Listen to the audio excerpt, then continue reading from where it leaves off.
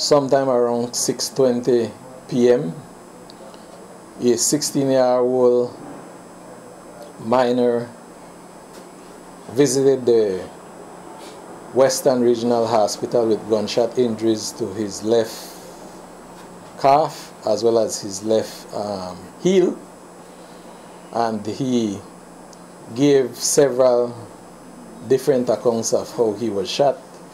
Um, the first is that he was shot somewhere in the vicinity of the National Bank at the entrance of Belmopan City.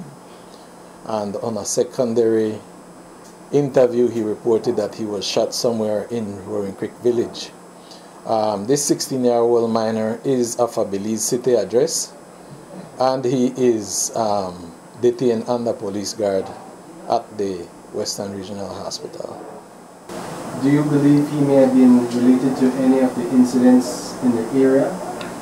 Um, that is a part of the investigation, and um, as well, he is of a Belize City address and could not give account of where exactly he was shot in Roaring Creek, and those persons whom he claimed to have been with in Roaring Creek, he, he could not identify them.